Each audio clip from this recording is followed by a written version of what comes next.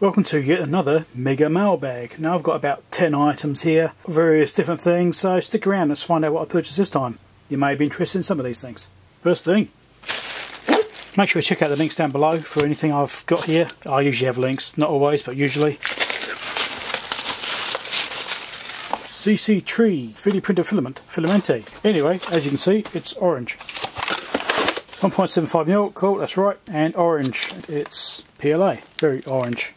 It's not a very strong orange actually, it's not as strong as I'd like it to be, but it's not too bad. It's, a, it's more of amber than orange I suppose, I don't know, am I being too fussy possibly? So yeah, I got this because I needed some orange filament, this is something I want to print which has to be an orange. And this is obviously for my Ender 3 3D printer. That thing's been working fine. I've seen comments on the internet about people with the Ender 3s and some say oh they're rubbish and some say no they're really good and mine's been okay. I've done a few little tweaks to it, nothing extreme but a few little things to help it out and it's working fine. It's a good first printer, put that way, especially for the price. I did do a, couple of videos on that thing a while ago. I did some on building it. I done some on some um, stepper motor busher upgrade things and had to quieten down. Some electronic modifications to make it a bit better. And noise level comparison and stuff like that as well. Before and after the stepper motor modification thing. So if you're interested in those, go and have a look at my previous videos because they'll be in there, I don't know, probably about a year or so ago. I think it was the last one I did and a couple of years before that it was the first one. You may have seen these before in previous mailbag videos. 2.42 inch 7 pin white SPI OLED LED. OLED displays. I've shown this before. Just getting a few more stocking up on them because I've quite like them. Current wise though, if you're on battery powered projects, they use quite a lot of power. Um, obviously depending on how many um, pixels are lit up, I suppose. When they've got nothing on, they use very little power, but as soon as you start lighting stuff up, the current draw goes up quite a bit. So I've seen in excess of 100 milliamps running one of these just on normal display stuff I've been doing, so it could easily go way above that. I'm certainly considering using these big displays, especially OLED, because they are LEDs, you have to light them all up. I did a video, well, I haven't published it yet, but you'll see it probably before you see this one actually. So yeah, probably have published a video on converting these things from SPI to I squared C, because they are fairly easy to do if you know how to do it.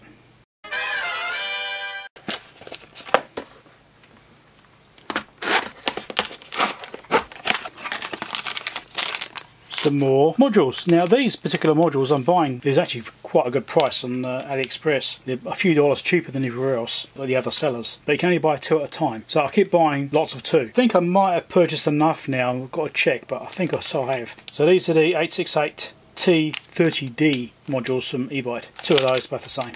Here's the card.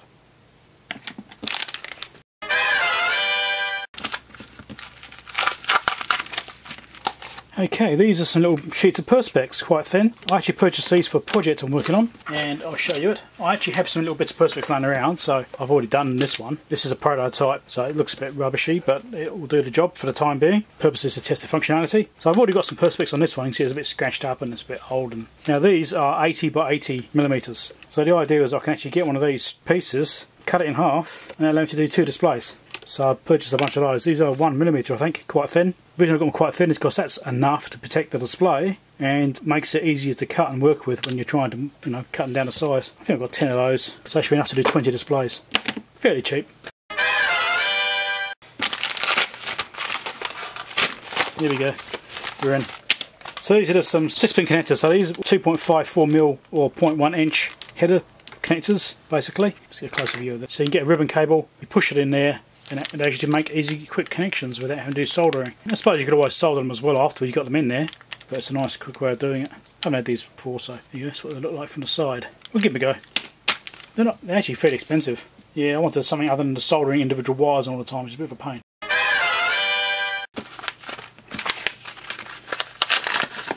We have a bunch of SOT devices. I'm not quite sure what size these are. There'll be a dimension spec, I don't know what it is. What are they? Let's find out. AMS 1117 3.3. So these are 3.3 volt linear voltage regulators. Now, as I didn't have any 3.3 volt linear voltage regulators, I decided to buy some. And as I always do, I buy a bunch of them, even if I only needed five.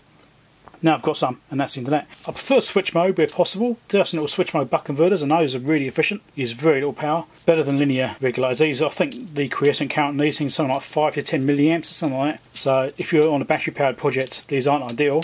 Better use a switch mode. But if you're not on a battery powered project, then it doesn't actually matter that much. It's not too bad. They're fairly cheap things. There'll be links for them. Thanks to my Patreon supporters. I have some very loyal supporters on Patreon. Some have actually contributed a fair amount of money over the period of time they've been supporting me. They're very much appreciated, those people. They help me to buy things like this and help my channel to keep going and buy things from Mailbag and keep you guys entertained. So this is a variable voltage regulator. Let's get one out. I already have some of these exactly the same as this before. I bought some more some time ago, but it turns out they weren't the same. So can you spot the difference? These are ones I purchased previously. Well, more recently. I did have some other ones which I had already used, but I purchased these ones more recently, and then I just purchased these. These ones are just arrived. Can you spot the difference? No, a few small differences on there, but you can't really see obviously from this angle. Now if I change what I'm doing here, if I say, I don't know, do this, now you see the difference, don't you? One board is definitely bigger than the other. Now I needed these for my project because I actually designed a circuit board to have one of these mounted on it. Uh, because these can do a couple of amps. I think this one might be 5 amps or 3 amps or something, 2 or 3 amps and like. This one's physically bigger than this one and this is what I need because I based it on this design. You've got the same chip, basically the same circuitry, or at least very similar. These ones are physically bigger, I think they're slightly higher current. So here's one of the boards of my project here. You can see I've designed, I've got a footprint on here which I found on the internet and say this one, turn around that way so you'll know exactly where it's supposed to go, doesn't actually line up. Because there's a footprint and you can see it's actually bigger than the footprint. So that is a bit annoying I thought those were the right ones. It turns out I need to get some more of these smaller ones. So this one will hopefully fit the footprint. It looks promising, those holes are lining up, so that's looking good. So yes, I've got some of these now, so yeah, I can finish that part. Okay, so I was hooked up to power supply, just clipped on, got a multimeter on the output. I've adjusted it for 5 volts because that's the voltage is going to be used at. I'm seeing 10 amps quiescent current. And the reason I think that's oh, 10 milliamps, not 10 amps, the reason is is because it's got an LED on there. So I might have to disable the LED because that will reduce power and I don't want to use power because I want it to be as low power as possible. So LED is probably doing 2 or 3 milliamps potentially, maybe a bit more. So I just want to see what the current is without the LED on it. So I might just take the LED off that one and see what happens. Okay, so I pulled the LED off, used hot air and took off the tweezers and then it blew away. I don't know where it's gone now, it's vanished, so it won't be going back on again. And you can see now the current is between 5 and 7 milliamps. So it's you know taking it down almost half really if you seven if you say it's five. So it's a big improvement. That's you know at least sort of thirty percent improvement, isn't it? At least just by taking the D off it. If that kind of thing. If you've got an D on these power supplies, take them off because it saves some power. You know if you're on batteries, if you milliamp counts. And here is the bigger brother. This is the one which is slightly larger, and that's sitting at five milliamps. And this doesn't have an LED on it either. So this one's actually running slightly more efficiently. You know, because the other flicking five to seven. So this is sitting a rock solid 5. Interesting. Anyway, it works fine. another one of these. I suspect this might be small LoRa modules, based on the packaging being exactly the same as the previous one. Yep, more LoRa modules. Now these ones are different.